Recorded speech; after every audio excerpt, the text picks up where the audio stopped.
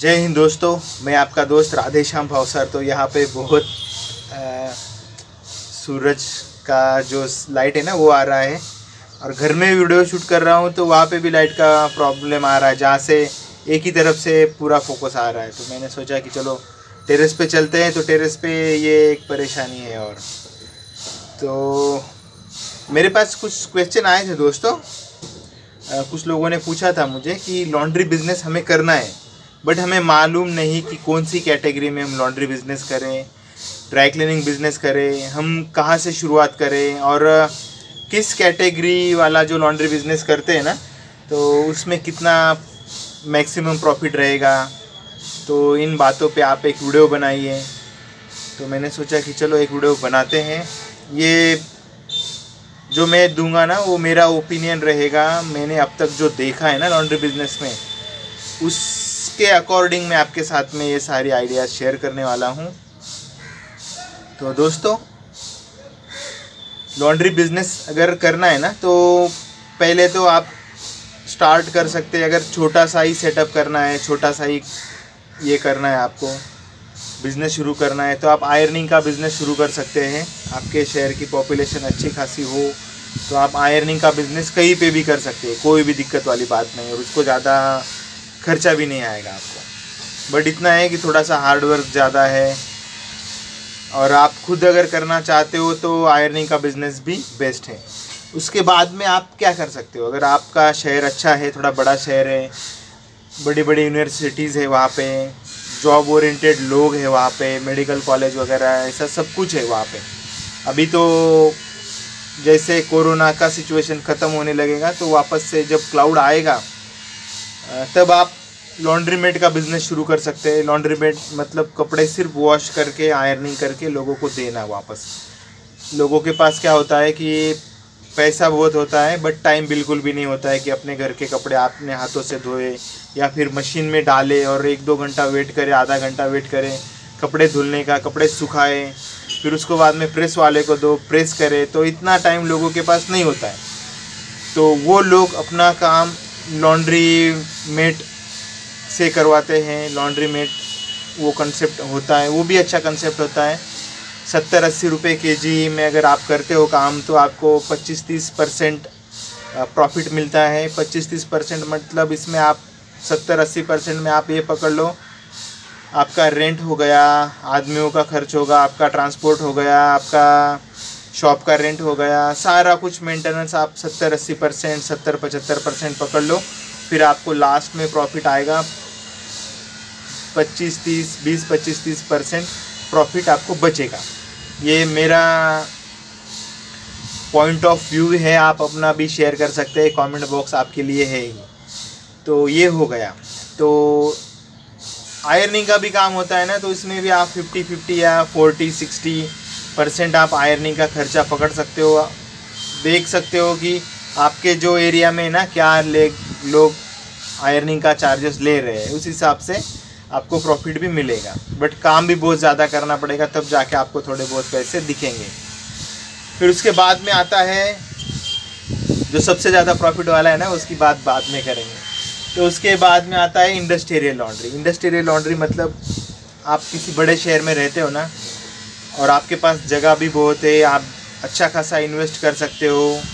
आप एम्प्लॉयज़ की भी आप अरेंजमेंट कर सकते हो। तो होता है इंडस्ट्रियल लॉन्ड्री इंडस्ट्रियल लॉन्ड्री मतलब आप हॉस्पिटल का सारा काम कर सकते हो। अभी हॉस्पिटल का जो भी लॉन्ड्री हॉस्पिटल का काम कर रही थी ना तो वो लॉस में नहीं गई और उनका बिज़नेस अच्छा खासा चल रहा था लॉकडाउन में। तो वो एक हो गया। उसके बाद में लॉज का काम आप कर सकते हो। ट्रैवलिंग का काम आप कर ट्रांसपोर्ट वगैरह जो होते हैं ना ट्रैवल्स ट्रैवल्स कंपनी होती है तो उनका काम आप कर सकते हो। लॉजेस हो गए होटल्स हो गए होटल्स में भी काफ़ी सारे कपड़े आते हैं। टेंट हाउस का काम हो गया, ये सारा इंडस्ट्रियल लॉन्ड्री में आता है दोस्तों। तो इंडस्ट्रियल लॉन्ड्री में भी प्रॉफिट आप समझ लीजिए, क्योंकि उसमें कंपटीशन बहुत ज़्यादा होता है। पैसा हो ना तो कोई भी आदमी वो बिज़नेस कर सकता है, ऐसा लोगों को लगता है, करते भी है लोग। और काफ़ी अनसक्सेस भी होते हैं, काफ़ी लोगों को बंद भी करना पड़ता है। हमारे काफ़ी सारे कमेंट बॉक्स में आप देखिए कि लोगों ने इंडस्ट्रियल लॉन्ड्री शुरू तो की बट कुछ लोगों का एक एक दो दो साल रेंट नहीं दिया गया तो जो मालिक, जो ओनर होता है ना, जगह का तो उसने ही मशीनरी जब्त कर ली। ऐसा भी मेरे पास एक एग्जांपल है। तो वो बिज़नेस होता है और वो कोई भी कर सकता है, कोई भी कर ही लेता है। उसमें क्या आपको मशीन्स चाहिए और केमिकल की नॉलेज थोड़ी बहुत चाहिए? तो वो काम लोगों को लगता है कि हम कर सकते हैं। करते भी है फिफ्टी परसेंट उसमें फ्लॉप भी हो जाते हैं। क्योंकि उसमें ना प्रॉफिट मार्जिन कम है। मतलब कम मतलब दस रुपये पाँच रुपये दस रुपये में बेडशीट वॉश करते हैं लोग। पच्चीस, तीस रुपये के जी में टेंट हाउस का काम करते हैं। उसमें तो चलो ठीक है। हॉस्पिटल का काम करते हैं, दो रुपये तीन रुपये एक जो यूनिफॉर्म होता है ना, दो रुपये तीन रुपये मुंबई के रेट में बता रहा हूँ तो इतना कम में काम करते हैं लोग। फिर भी एक रुपये एक पीस के पीछे कमा लेंगे ऐसा सोचते हैं, और हज़ार, दो हज़ार कपड़े हम एक दिन में वॉश कर लेंगे। ये मैं मुंबई की बात बता रहा हूँ। तो बाकी जगह पे अगर प्रॉफिट ज़्यादा होगा तो आप थोड़ा सा ज़्यादा पैसा कमा सकते हो। बट इसमें बहुत ज़्यादा एफर्ट लगानी पड़ती है, और सक्सेस के चांसेस होते हैं ना फिफ्टी फिफ्टी परसेंट होते हैं। एफर्ट बहुत ज़्यादा लगाना पड़ता है। मुझे नहीं पसंद है ये काम। और, चौथी कैटेगरी होती है ना मेरी सबसे पसंदीदा कैटेगरी है। तो वो हो गया shoe laundry sofa carpet cleaning कुछ लोग कार का भी उसमें ऐड कर देते हैं कार क्लीनिंग इंटीरियर क्लीनिंग वगैरह का। तो वो भी आप लॉन्ड्री बिज़नेस में ही कर सकते हो। शू क्लीनिंग में भी थोड़ा सा लाइन सेटअप करने में थोड़ा सा टाइम लगता है, लोगों को मार्केटिंग करने में टाइम लगता है, क्योंकि बड़े शहरों में तो आ सकते हैं कस्टमर बड़े शहरों में शू लॉन्ड्री के कस्टमर आएँगे सोफ़ा कारपेट क्लीनिंग के लिए लोग आएँगे, और ये एक एक सिंगल आदमी भी कर सकता है, इसमें ज़्यादा जगह की ज़रूरत नहीं है, आप पिकअप एंड ड्रॉप सर्विस से भी अपना बिज़नेस अच्छे से कर सकते हैं, और इसमें प्रॉफिट भी अच्छा खासा है फिफ्टी से सिक्सटी परसेंट प्रॉफिट है। और ज़्यादा भी हो सकता है बट थोड़ा बहुत इन्वेस्टमेंट भी इसमें करना पड़ता है। लेकिन इसमें ना लाइन जो होता है ना कस्टमर्स की जो लाइन बैठने में थोड़ा सा टाइम लगता है। और एक बार बैठ गए तो आपको किधर भी जाने का ज़रूरत नहीं है। आपके फिक्स कस्टमर रहेंगे। तो ये काम भी मुझे काफ़ी पसंद आता है। बट ये भी काम मैं रेगुलर नहीं कर पाता हूँ, क्योंकि मेरा छोटा सा शहर है। तो उस वजह से ये भी काम मैं ज़्यादा नहीं कर पाता हूँ। उससे अभी मैं जो करता हूँ ना प्रेजेंटली तो वो काम मुझे ज़्यादा बढ़िया लगता है। और उस काम में स्लैक सीज़न थोड़ा बहुत होता भी है, लेकिन हमारा काम चल जाता है। और प्रॉफिट मार्जिन भी उसमें बहुत अच्छा खासा है। फैंसी ड्रेस ड्राई क्लीनिंग साड़ियाँ ड्राई क्लीनिंग रोल प्रेस कोई भी कपड़ा हो ब्लेज़र कोट जो हम शादियों में पहनते हैं, कपड़े वो घर से बाहर जब आदमी निकलता है ना तो उसको कोई ना कोई अच्छे से कपड़े पहन नहीं होते। लेडीज़ जब घर से बाहर निकलती है तो उनको अच्छे से अच्छी साड़ी पहननी पड़ती है। और उसको, उसकी बहुत ज़्यादा डिमांड है, और सबसे ज़्यादा रिस्क भी उसी में है, क्योंकि महँगे कपड़े होते हैं, साड़ियों के कलर लूज़ होते हैं फैंसी कपड़े होते हैं, इसीलिए बहुत ही ज़्यादा डेलिकेट्स होते हैं, बहुत ही ज़्यादा नाजुक होते हैं। तो अगर प्रॉपर नॉलेज नहीं हो तो डैमेज होने के बहुत ज़्यादा चांसेस इसमें होते हैं। उसी की हम बेसिक लॉन्ड्री बिज़नेस ट्रेनिंग यहाँ पे देते हैं दोस्तों। और उसमें प्रॉफिट बहुत अच्छा खासा प्रॉफिट होता है। जब मेरे पास लोग ट्रेनिंग के लिए आते हैं ना तो कस्टमर से कपड़ा लेने से लेके कस्टमर को सारा काम रेडी करके देते जब है ना, सारा कुछ रेडी हो जाता है। तब हम एक्चुअल में कैलकुलेशन करते हैं, कितना इलेक्ट्रिसिटी बिल लगा, कितना केमिकल लगा, कितना टाइम हमारा गया।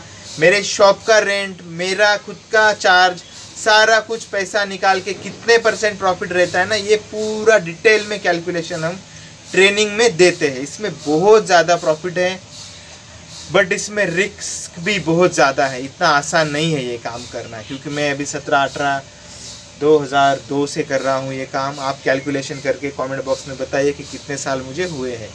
पाँच फेब्रुवरी 2002 से मैं ये काम कर रहा हूँ दोस्तों।